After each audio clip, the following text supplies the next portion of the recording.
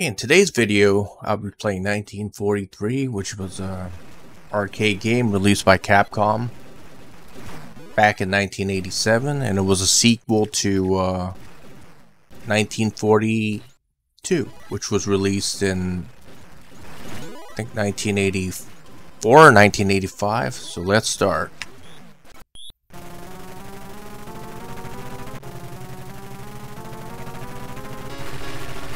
So the objective of this game is just just take out the bosses, which are major enemy ships, like the historical Japanese uh, capital ships of World War II.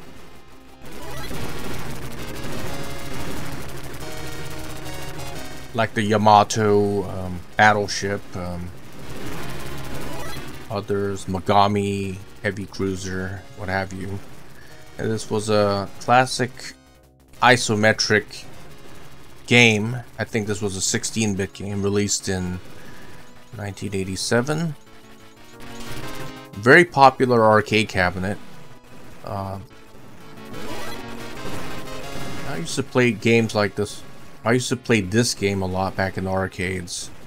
Really enjoyed Capcom arcade games. Like um, 1942, 1941, and others. Uh, Trojan, Area 88, Carrier Air Wing, Punisher, so many. They made a lot of arcade titles.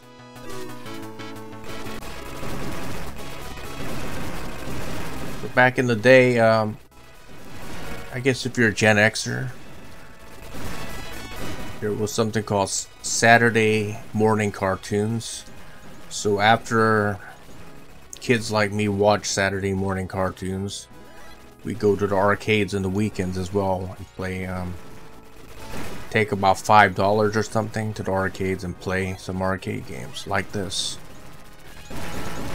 And uh, when I was growing up, there was two arcades in the mall that I that was near my area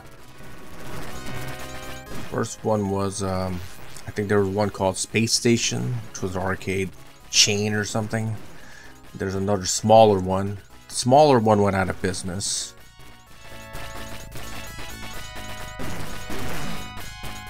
In 1987 or something. So I just went to Space Station a lot. There were all types, there were a lot of arcades just about everywhere. There were arcades in pizza parlors, there were arcades restaurants, there were arcades and coin-operated laundries, and just pool halls and a lot of other places. Liquor stores, convenience stores, 7-Elevens, you name it.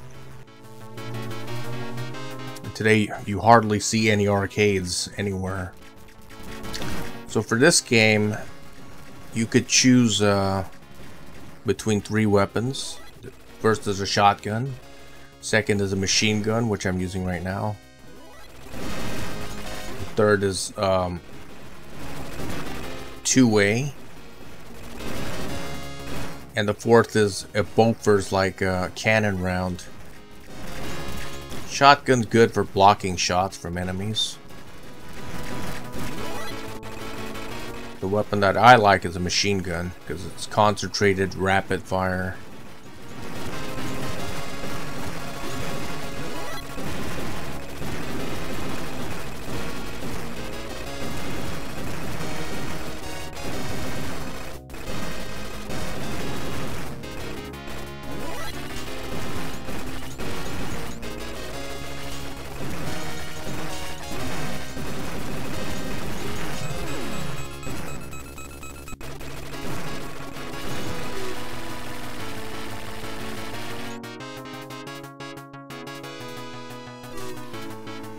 As you can see in the side panel of this um, arcade cabinet, uh, it shows you how to play the game, and that was uh, how arcade cabinets were back in the day.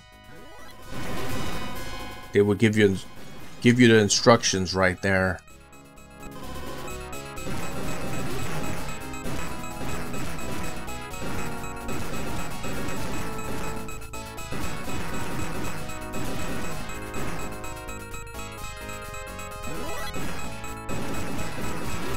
This game wasn't terribly difficult.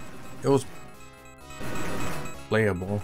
It wasn't that hard compared to other type of arcade cabinets at the time and Capcom didn't make impossibly difficult arcade games. And for arcade games, the game makers had to get the money from the user as they played the game. Which was quite the contrary for um, software that you bought, like if you bought the ported version of 1943 for the NES, Commodore 64, Commodore Amiga, or other platforms, you would just pay the upfront cost when you bought the software. So they didn't have to make the games very hard, but for the arcade, the faster the player dies, the more money the arcade cabinet makes. So that's how it was set up back then. So arcade games were definitely more difficult than the home versions. But the allure of the arcade games was that the graphics were so much better. The home versions didn't look as good. That is until 16-bit computers and um, video game consoles became popular. Starting from the late 1980s and 1990s, with 16-bit systems, it was kind of like almost approaching arcade level quality. But the 8-bits definitely 8-bit systems definitely couldn't cut it. And in some cases, um, video game consoles like uh, the Sega Genesis and um, Sharp 6800 computers use the same um, CPUs as arcade versions. It used the Motorola 6800 and a lot of arcade boards use that CPU as well. But I have to say, even in the 16-bit era, the arcade games were still better in terms of like what you saw on the screen.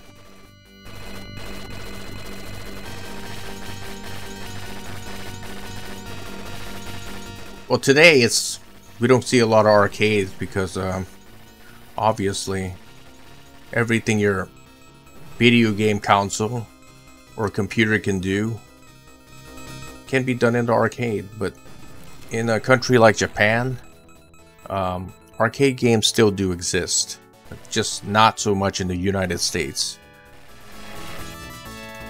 Back in time, back in the 1980s and 1990s, 1970s, it was a different story. Arcades were very popular.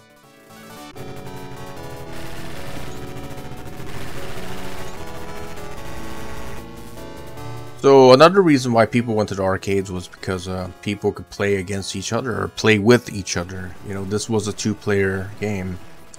You could play with other people.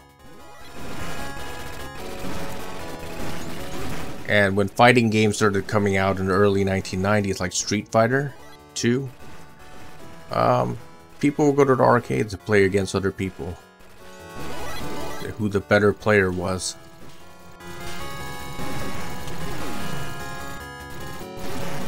Laser. This game had lasers. there were no lasers back in 1943. Lasers were invented in the 1960s.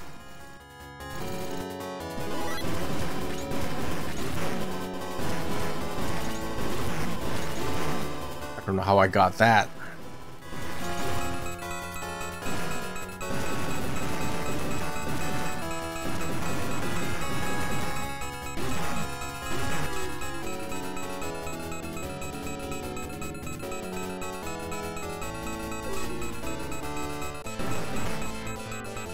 I enjoyed all the Capcom games. I liked Area 88. I used to play that often in 19. I think it was released in 1988 or something. Not sure. 88 or 89.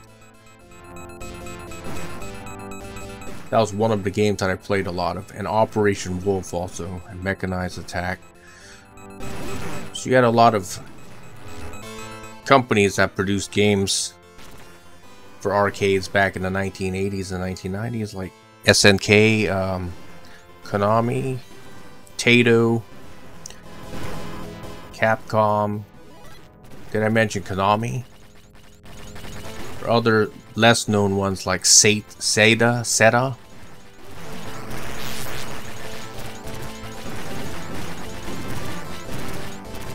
Jaleco, Namco, Bally, Midway USA, and all these other companies.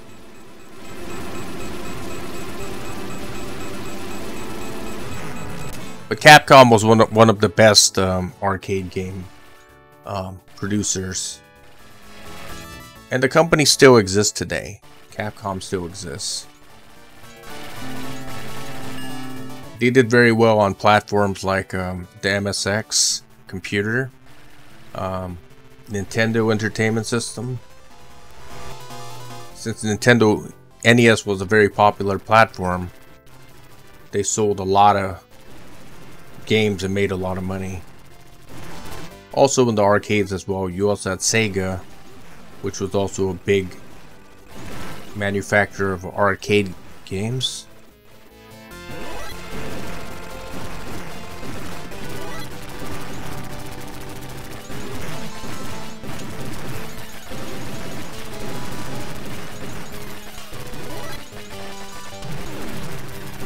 Still good at this game, even after all these years.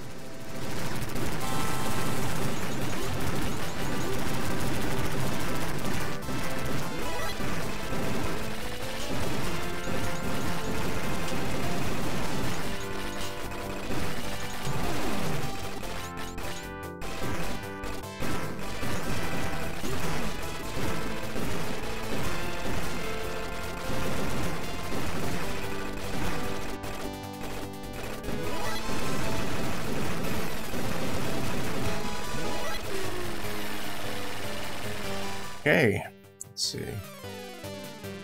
You also had companies like Irem or something. That was another company that produced games, arcade games.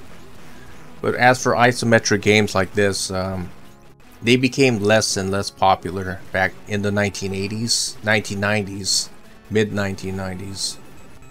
But you had some companies producing games like this, like 19 uh, Strikers 1945. But it really wasn't that successful because uh, people were bored of these type of games by then. They wanted to play 3D games with polygonal graphics in the mid 1990s, not titles like this. But this is a classic title, so I still enjoy it even to this day.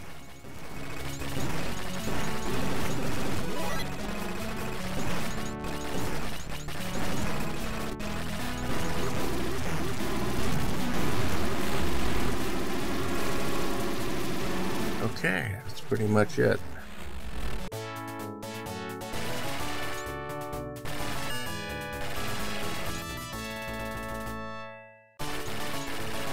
So, in the 1980s or 1990s arcade, you had a you had a machine that dispensed quarters. Wherein, if you went to places like Chuck E. Cheese's and stuff like that, uh, you would put in your money, paper money and they would dispense uh, tokens in places like Chuck E. Cheese's. If you went to an arcade, it would just dispense quarters and you would use that to play your arcade games. It would only take um, coins, quarters basically. It wouldn't take anything else. It wouldn't take dimes, nickels, or pennies